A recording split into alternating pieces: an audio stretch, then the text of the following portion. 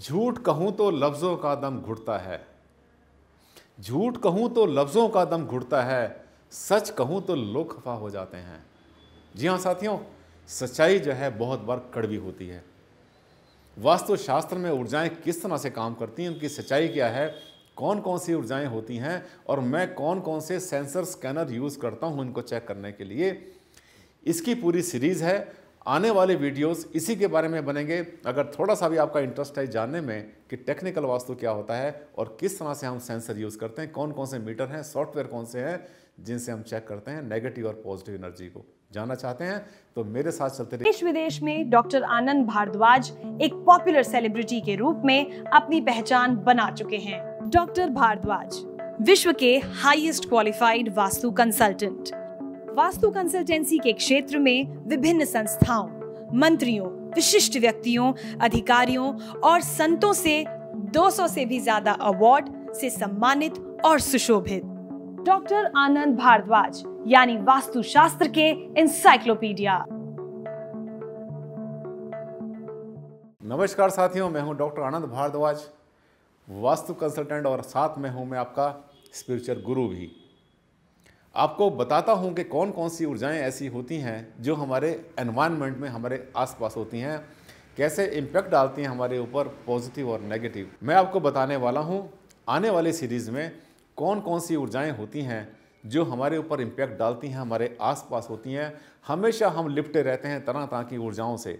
ज़मीन से भी निकलती है, ऊपर से भी आती हैं, आसपास से भी आती हैं। किस तरह से चेक की जाती हैं कौन कौन से सेंसर्स हैं मेरे पास, कौन से टूल हैं इंस्ट्रूमेंट्स कौन से हैं, और कौन सा ऐसा सॉफ्टवेयर है जो ज़बरदस्त तरीके से हर तरह की ऊर्जाओं को चेक कर देता है। साथियों, आपके मन में बहुत जिज्ञासा होती है, यही बताने वाला हूँ आज की वीडियो में। सबसे पहले मैं आज लेता हूँ टेलरिक एनर्जी के बारे में, साथियों, ज़मीन की ऊर्जा। अर्थ एनर्जी क्या होती है?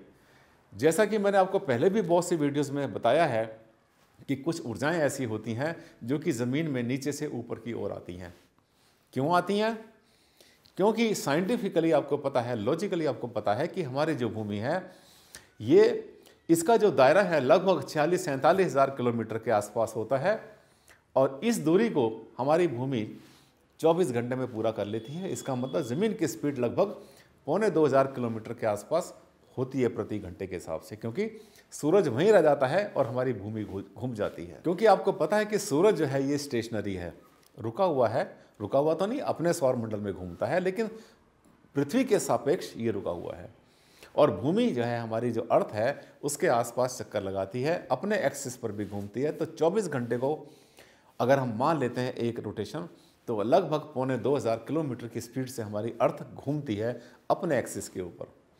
दूसरी बात, हमारी अर्थ में जो है ज़मीन के अंदर क्रस से लेकर कोर के बीच में बहुत सारे परिवर्तन आते चले जाते हैं। मेंटर है, कोर है क्रस्ट है।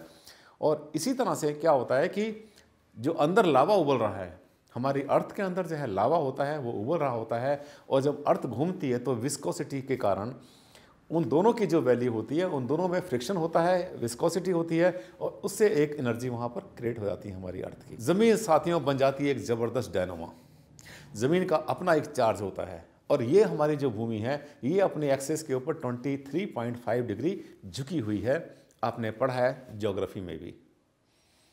अब, ये जो कंडीशंस होती हैं, इसके साथ साथ जब हमारी अर्थ चल रही है, अपनी जो है रोटेशन भी कर रही है, उसका रिवोल्यूशन भी कर रही है, और इस तरह से अर्थ में बहुत सारे परिवर्तन हो रहे हैं साथियों तो ऑटोमेटिकली ज़मीन के अंदर एक इनेट एनर्जी क्रिएट होती है बहुत सारी एनर्जी ऐसी होती है जो कि सीधी जाती है। कुछ एनर्जी जो है स्पाइरल शेप में बाहर निकलती है। उसे स्पाइरल एनर्जी बोलते हैं हम लोग। और ये जो जितनी भी जितनी भी एनर्जीज़ हैं, ये सब मिलने के बाद एक एनवायरनमेंट क्रिएट करती हैं, जिससे हमारे बहुत सारे सुख, दुख, हमारी नींद, हमारी हेल्थ बच्चों का कंसल्टेशन बहुत सारी चीज़ें बिज़नेस पैसे का रुकना, पैसे का बहना, हमारे जीवन में हमें खुशी मिलना, गमी मिलना, हमारे काम का बनना, काम का बिगड़ना ये सब कुछ बहुत बार इसी से डिसाइड होता है साथियों। तो अगर आप वास्तु को इस सेंस में लेते हैं कि विज्ञान है और किस तरह से इसको यूज़ करेंगे तो ज़िंदगी बदल जाती है हमारी इससे। अब इसको कैसे चेक करते हैं? ज़मीन को चेक करने के लिए, ज़मीन की अर्थ की एनर्जी को चेक करने के लिए यूँ तो कई सेंसर होते हैं, बहुत सारे स्कैनर होते हैं। आपको बताऊँगा कि वो सेंसर कैसे काम करता है, ज़मीन के अंदर से कौन कौन सी एनर्जीज निकाल के लाता है, कैसे उसको ट्रेस करते हैं हम। उससे पहले थोड़ा सा आपको और बताना चाहता हूँ कि अगर आप किसी ऐसी जगह पर रहते हैं जहाँ पर कि आपको बेचैनी होती है, इसका मतलब वहाँ पर कोई ना कोई नेगेटिव एनर्जी हो सकती है। आपने मकान बनाना शुरू किया, आपने फैक्ट्री बनानी शुरू की, शुरू तो कर दिया आपने, लेकिन बनते बनते उसको, जो काम आपका एक साल में होना था, उसको बनते बनते चार साल लग गए, पाँच साल लग गए, इसका मतलब ज़मीन के अंदर कहीं ना कहीं कोई वीकनेस है, और ये भवन आगे चल के आपको ट्रबल देने वाला है। हमने देखा है अगर आपकी बिल्डिंग को बनने में बहुत सारा समय लग गया, आपने जो एस्टिमेट किया, उस एस्टिमेट से डबल ट्रिपल टाइम लगता है, चार गुना टाइम लगता है, और बहुत बार तो ऐसे भवन भी होते हैं जो कंप्लीट नहीं हो पाते हमने देखा है दस दस साल, पंद्रह पंद्रह साल से इनकम्प्लीट पड़े हुए हैं खंडर पड़ा है पूरी तरह से हुआ हुआ। ये क्या होता है कि इसमें अर्थ की जो एनर्जी होती है, कम होती है।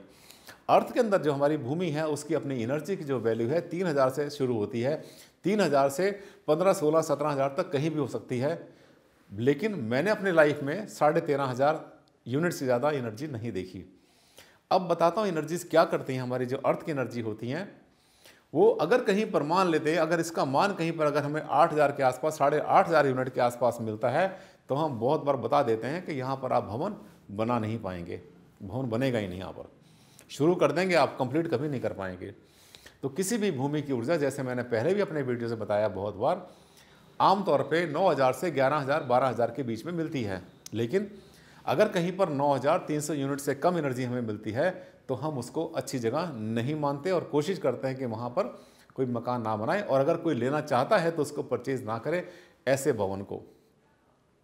इसको भी चेक करने का हमारे पास सेंसर होता है। मैं अगले वीडियोस में, जो आने वाले वीडियोस हैं, उनको देखते रहिए। बिल्कुल ब्रेक नहीं करना। हर वीडियो देखना आपने। मेरे वीडियोस को आप लोगों के साथ में अपने सा, अपने ग्रुप में इसको शेयर करना ना भूलें इसको लाइक करना ना भूलें।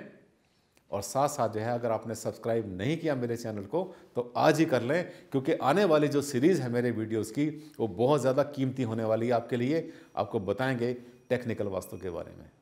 अगले वीडियो में फिर से आपसे मुलाकात होगी। दूसरे टॉपिक के ऊपर दूसरी ऊर्जा के बारे में बात करेंगे। तब तक के लिए दें मुझे इजाज़त। नमस्कार धन्यवाद। Thank you and take care